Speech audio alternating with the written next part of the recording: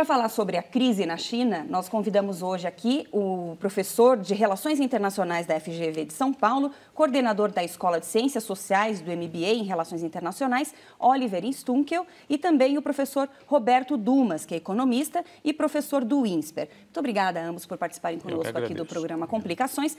Agora a gente queria entender qual que é a complicação tão grande na economia chinesa que fez com que o mundo olhasse para aquele país nas últimas semanas, professor. É, na minha opinião, o que está acontecendo na China já era uma coisa que deveria estar no radar de todo mundo. Por quê? Primeira coisa que eu gostaria de colocar, não está correndo nenhuma crise na China. Não tem o crise. Eu, não há nenhuma crise.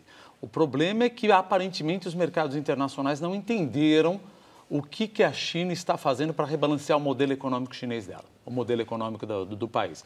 Ou seja, a China cresceu muito de 1990 até 2008, quando teve o epicentro da crise da subprime. Só que ela cresceu muito mais voltada para investimento e exportação.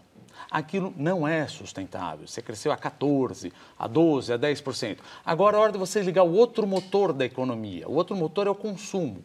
Para eu ligar o consumo, eu preciso desligar o motor do investimento. Não é que eu preciso desligar o motor, eu preciso reverter toda aquela gama de subsídio que eu dei para a produção de volta para o trabalhador chinês. Ou seja, não é que o chinês não consome, o chinês consome muito, mas o chinês produz muito ao quadrado.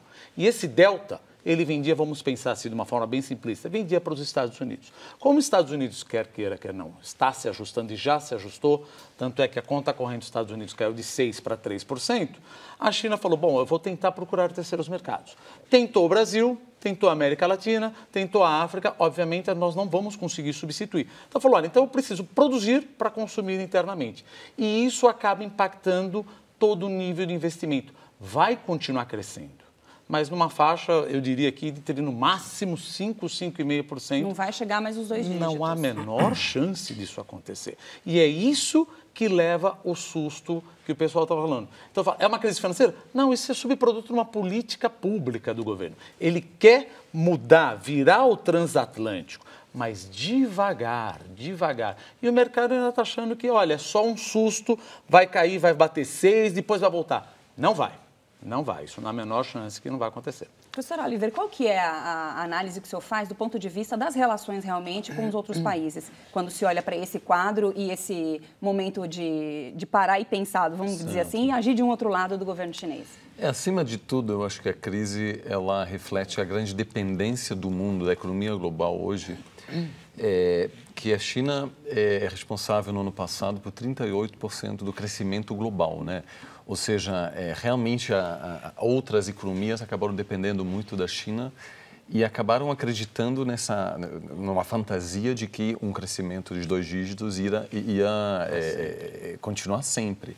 Isso é óbvio, inclusive, é, é, uns oito anos atrás, o governo chinês já deixou muito claro que o modelo é insustentável, que é preciso mudar e é um processo muito complicado. Um país com muita desigualdade, um país que, como o professor disse, cresceu muito, passou por uma transformação é, econômica é, rapidamente, que aconteceu em três décadas, que em outros países demorou séculos. Né? Uma transformação muito grande que pode gerar instabilidade social, etc. Então, o governo vem anunciando isso há tempo. E é um processo complexo, etc. Então, nesse sentido, é um susto, mas é um susto que muita gente levou que acabou não escutando muito bem o que uhum. o governo eh, vinha dizendo. Então, eu concordo que, obviamente, isso vai impactar negativamente a economia global. É, mas eu não diria que é uma crise, né? Quando a gente está falando, nossa, a China só vai crescer agora é 4, 5%. Isso em outro, é, na, na, grande maioria dos outros países do mundo, é, seria um sonho. Uhum. Né? Brasil. É, exato. Então, é, eu acho que uma, uma adaptação, e a pergunta é muito mais se, se o governo consegue é, transformar a economia sem grande instabilidade, ou seja, né, se o governo conseguir gerenciar esse processo, muito mais do que há uma crise ou não uma, crise, acho que o foco agora é muito mais nesse detalhe de como o governo vem gerenciando isso, é, do que perguntar se, é, é se há realmente uma, uma, uma queda de, de, de, produção, etc. Que isso vai, vem acontecendo, mas eu concordo que é, o foco agora é em, em, aumentar o consumo né, para Por que, que o capitalismo dos dias de hoje depende tanto da China, professor? Bom, a, a economia é, chinesa vem, vem, vem, crescendo muito e, e a gente é, vem assistindo uma, um crescimento mundial relativamente baixo. Então a gente viu um deslocamento histórico né, de, de, de poder econômico indo para é, para a Ásia, mas isso no fundo é uma é uma volta no fundo ao, ao, ao normal, né? A gente muitas vezes esquece que a China já ocupava essa posição de liderança é, é, 150 anos atrás, 200 anos atrás, a China se vê já como né, um certo assim o, o centro da economia global há, há, muito tempo e passou por uma crise que para nós é o, é o normal, né? Então a gente chama a China de potência emergente, mas é, do ponto de vista histórico ela não é uma potência emergente, é uma potência grande, importante, já que apenas volta à sua posição tradicional nesse sentido. Então, eu acho que a gente precisa se, eh, se, se acostumar novamente com essa nova realidade. E apesar do, do, da desindustrialização e tudo, eu não vejo um, que isso vai mudar ao longo dos próximos anos. Inclusive, eu acho que é, a maioria dos eh, países, inclusive o Brasil, precisa se adequar cada vez mais a essa nova realidade que, que coloca a China como um dos pilares centrais da economia.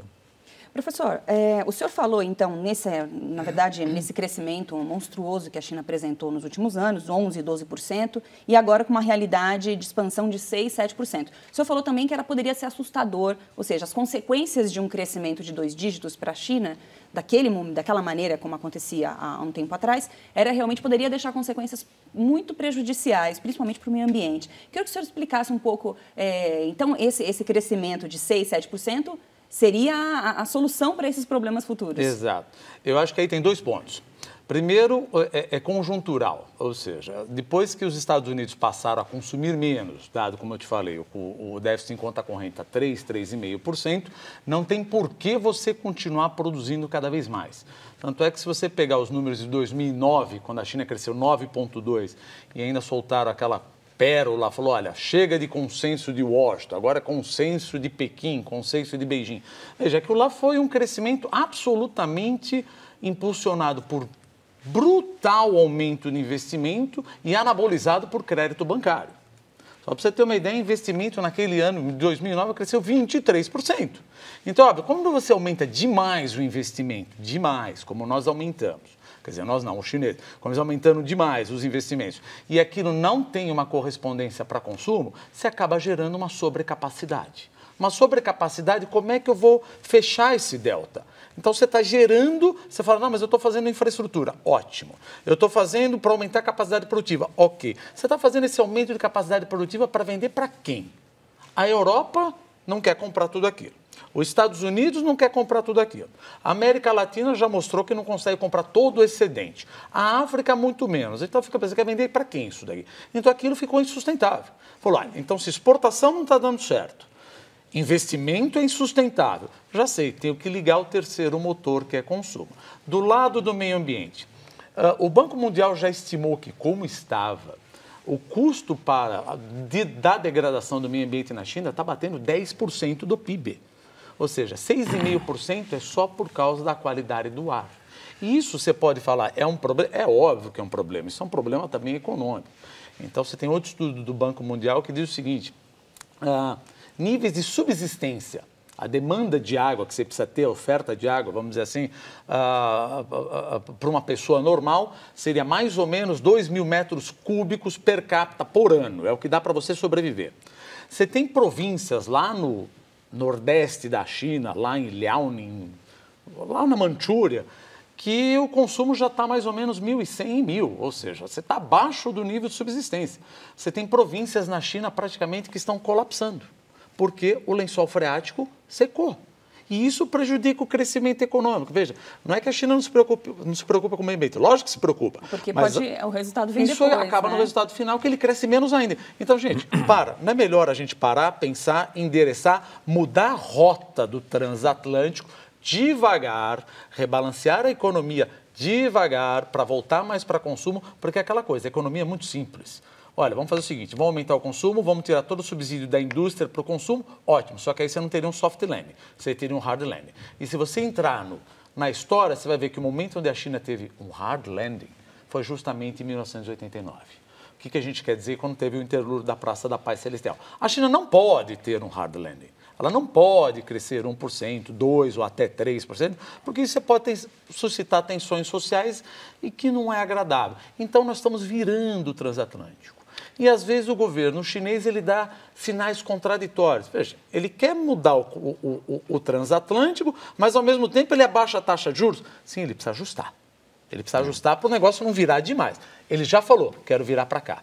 Mas se eu achar que a curva está muito fechada, uh, solta um pouquinho a taxa de juros para não ter um, uma tensão social exacerbada. É, inclusive a questão do, do meio ambiente também está ligada à questão das tensões sociais. Né? Uhum. A gente tem um número elevado de, de manifestações, Mortes. etc., que é natural num país de mais de um bilhão de pessoas, né? ou seja, mas, é, mas cada vez mais a gente vê um número crescente de manifestações, de, de descontentamento por causa da qualidade da água, da, da qualidade do, é, do ar, de poluição, etc. Né? Grande parte da água é, é, na China já não se pode mais consumir, etc. Ou seja, realmente há, há um grande problema em relação a isso, não só para a economia, mas também para a estabilidade política, né? Porque uhum. os cidadãos eles percebem também que há, há escândalos, né? De, de, de, da qualidade da, da, da, comida, etc. Ou seja, é, isso é um, um, tema também que precisa ser cuidado para assegurar a estabilidade política nos próximos anos. Por isso que é importante acompanhar também essas questões. Essa mudança de rumo, como o professor disse aí, em relação ao transatlântico, vamos chamar assim, uhum. é, como é que ela foi vista, professor, é, dentro da, do grupo dos BRICS? É, a participação da China é muito importante, enfim, e dentro do grupo e principalmente pelo Brasil. Como é que o Brasil está vendo essa situação e essa mudança é, de planos na economia chinesa? Bom, o grupo BRICS é, depende, de certa maneira, do, da China. A economia chinesa é maior do que todos os outros países BRICS juntos, né? ou seja, realmente existe lá um, um peso importante. É, e a relação econômica é, entre a China e os outros países é importante e é, quando se tira a China, a relação, por exemplo, econômica do Brasil com a Índia, do Brasil com a Rússia ainda é muito incipiente. Né? Então, no fundo, o grupo BRICS é a China no meio e é por meio da China que todos se conectam. Né? É, isso não quer dizer que a China manda em tudo que o grupo faz, mas claramente diz que a, a, a situação econômica na China, política na China, é um fator determinante que uhum. acaba impactando o dinamismo do grupo. É, ainda, mesmo com, com um crescimento mais baixo, é, é, a, o país salvou é, os outros membros ao longo dos últimos anos. O Brasil jamais teria crescido tão rapidamente é, é, nos últimos anos, ainda antes da crise, né, antes de 2011, sem a demanda chinesa. A Rússia hoje depende cada vez mais da demanda chinesa. Então, existe, obviamente, uma preocupação, porque realmente uma demanda mais baixa também é, é, obriga os BRICS a se adequarem a essa nova situação. Né? E é, o Brasil tem cada vez mais, é, ou seja, depende cada vez mais da demanda por commodities da China. Isso hoje se torna um grande problema. Né? É, então, isso requer um ajuste também das, das outras economias dos países BRICS e acima de tudo, é, é, um investimento grande em acumular conhecimento sobre a China. Né? Um grande, grande problema. As empresas ainda, eu acho que ele tem muito conhecimento sobre a China, as empresas brasileiras que operam lá, mas a sociedade em geral tem poucos especialistas, a gente tem poucos alunos que fazem intercâmbio lá, etc. Então, o que é preciso, apesar de novo, apesar do crescimento mais baixo, é uma reorientação, que a, a, em geral a gente precisa entender que o que acontece na China é muito, muito importante China é o principal parceiro comercial. Então, todas as instituições, universidades, etc., precisam começar a acompanhar mais esse processo. Direto daqui para lá, né? Essa questão sem a leitura Exato. americana, por exemplo, que se Exatamente. faz no Brasil, que Isso. é um outro viés, né? Exato. Os Estados Unidos veem a China com outros olhos, até porque a é relação é, é outra também, né? Exato, né? Então, é, esse, esse, foco, né? O, o número de correspondentes brasileiros na China é baixo.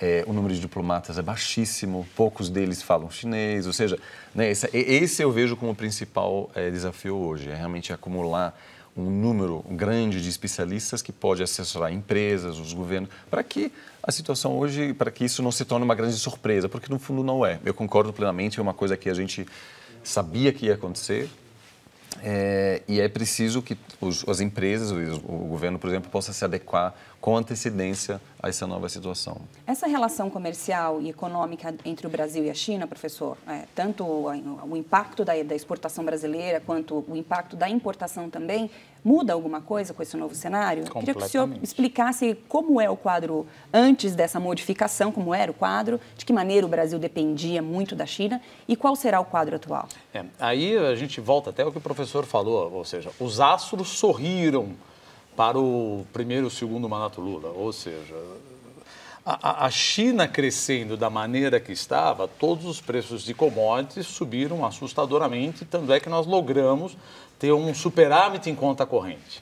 Quando a China começou a ter um crescimento menor, muito mais eventualmente impulsionado por consumo e menos por investimento. Veja, eu não estou querendo dizer que o investimento não cresce, uhum. mas muito menos do que crescia, 23%. Isso acaba afetando o preço de commodity. Leia-se aí, minério de ferro, cobre e também petróleo. Só que o petróleo já pega um outro agravante, que é aquela coisa da Arábia Saudita com os Estados Unidos, na minha opinião, a Arábia Saudita querendo estrangular a produção de shale gas. Agora ainda você soma que o embargo do Irã foi terminado, ou seja, você tem um aumento da oferta de petróleo, isso impacta tudo.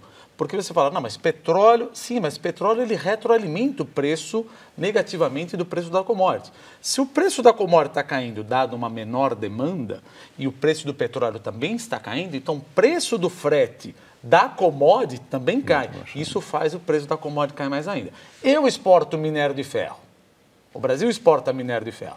Então, só de janeiro a julho de 2015 para janeiro a julho de 2014, ou seja, a exportação em volume monetário caiu 58%. E o volume, quantidade mesmo, 7,5%. Ou seja, minério de ferro já caiu mais ou menos uns 70%. Óleo, petróleo caiu 50%. Soja 40%, cobre 40%.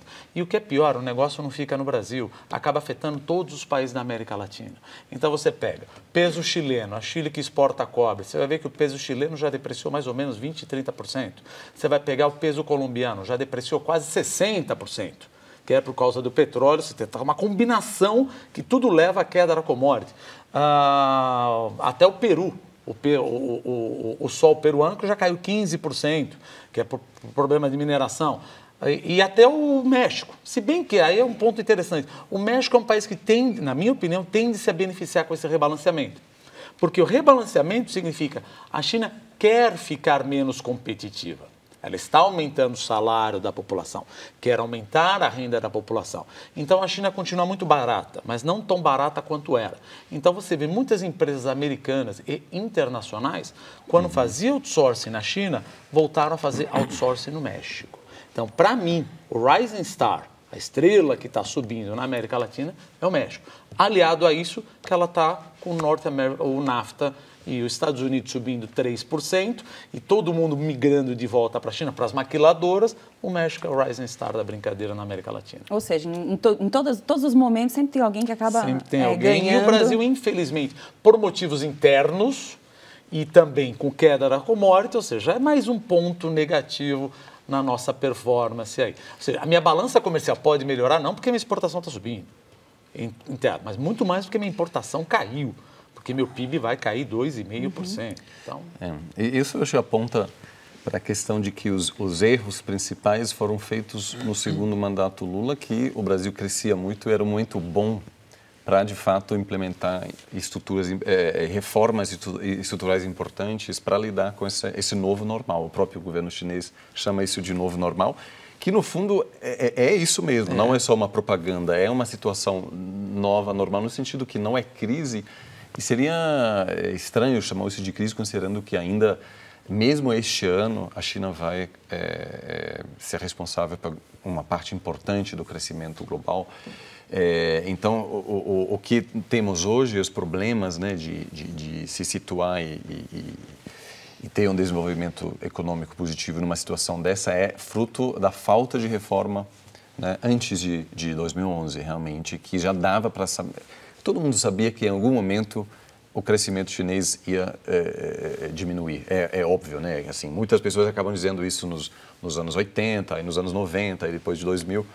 Em algum momento isso ia de fato uhum. acontecer e, e, foi agora que aconteceu de novo, né? Com um, um anúncio do, do, governo chinês dizendo, olha, a gente vai mudar, a gente, né, isso não, não foi, não foi uma decisão continuar. rápida. Uhum. Né? Então, nesse sentido, a gente está pagando o preço nesse sentido é, só agora. É. Uma das notícias publicadas essa semana é dizendo que é, já sobra principalmente chips de celulares nas fábricas, é, mais de uma marca, enfim, é, de uma empresa é, fabricante de chips para celulares na China.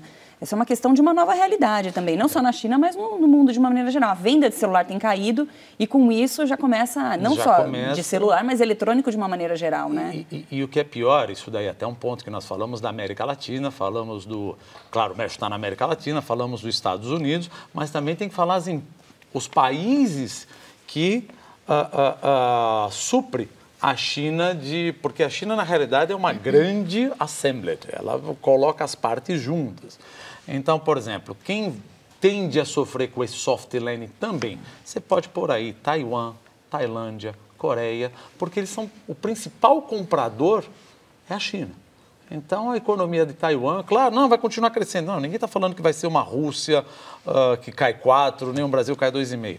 Mas não é meritório um negócio desse. Porque se a China quer exportar menos e está exportando menos e já está fazendo política para diminuir, política públicas de forma a aumentar o consumo e diminuir a exportação, obviamente toda aquela mercadoria que eu comprava de Taiwan e Coreia para reexportar para o G2, isso tende a diminuir. Isso acaba impactando na economia de Taiwan e da Coreia também. E do uhum. Japão também.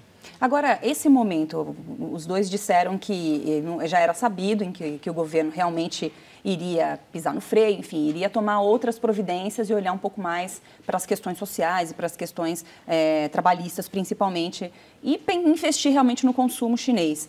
É, mas o Brasil vive um momento muito difícil, um momento de o desemprego subindo, a questão da inflação subindo também, é, o dólar batendo direto e com consequências graves para a economia brasileira. Nesse momento, o Brasil, é, analisando essa questão dessa parceria com a China, é, isso pode prejudicar ainda mais a economia brasileira, professor? Do lado de queda da commodity, não há a menor dúvida que isso pode prejudicar o Brasil. Ou seja, você pega aí preço na bolsa de mineradora, o negócio está despencando. Só que aí é aquela coisa. Isso prejudicaria se eu tivesse absolutamente já preparado para um rebalanceamento econômico? Certamente não, mas quando você já tem as operações de Lava Jato, como você já tem que o problema de infraestrutura vai cair.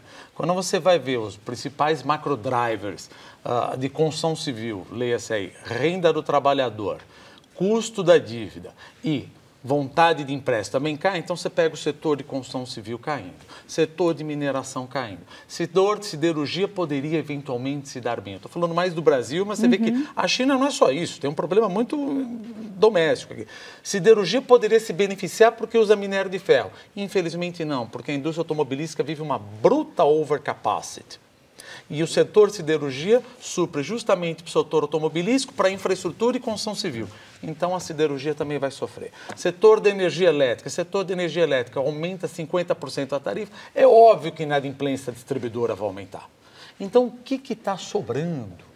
O que está. Ah, não vamos pensar óleo e gás. Puxa vida, óleo e gás com a brincadeira, digo brincadeira com várias aspas, a brincadeira da Arábia Saudita com os Estados Unidos abaixo de 40 dólares, o Irã exportando. Ou seja, como é que você vai querer explorar o pré-sal com tudo que está acontecendo na Petrobras?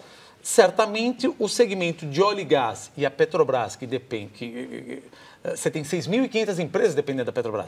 Então o cenário é horroroso para o Brasil. A China vem mais no motivo para não ajudar. Não é que, olha, a China foi a principal causa do meu Estopim, PIB cair. Não. De jeito nenhum.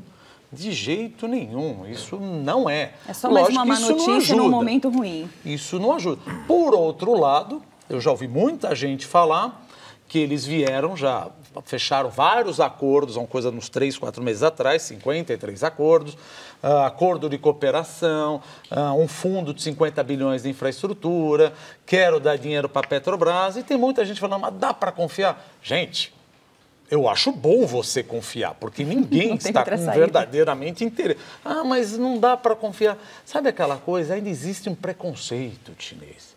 Alguém mais veio aqui falar, eu te dou 50 bi? Alguém mais veio aqui e falou, te dou 10 bi? Outra veio aqui e falou, quero dar mais 53 bi e cooperar? Não. Então tem uma coisa do brasileiro que ele não entende. Ele fala, não, eu prefiro muito mais brincar com a Europa. Eu acho que é, é bom brincar com todo mundo, mas é, é uma brincadeira que eu falo, Richard Nixon, follow the money. Ou seja, o chinês quer entrar no Brasil, quer trazer investimento. Ah, mas ele quer só comprar recurso natural. O chinês adora negociar. Fala com ele, você quer comprar recurso natural? Eu quero que você faça uma infraestrutura, que é justamente o meu principal gargalo. Aliás, não precisa nem pedir isso. Isso foi proposto, inclusive, na visita do primeiro-ministro. Não precisa nem pedir, não é isso, porque o chinês quer fazer infraestrutura, porque ele não confia na infraestrutura brasileira, é uma maneira perene de escoar toda a produção dele para a China.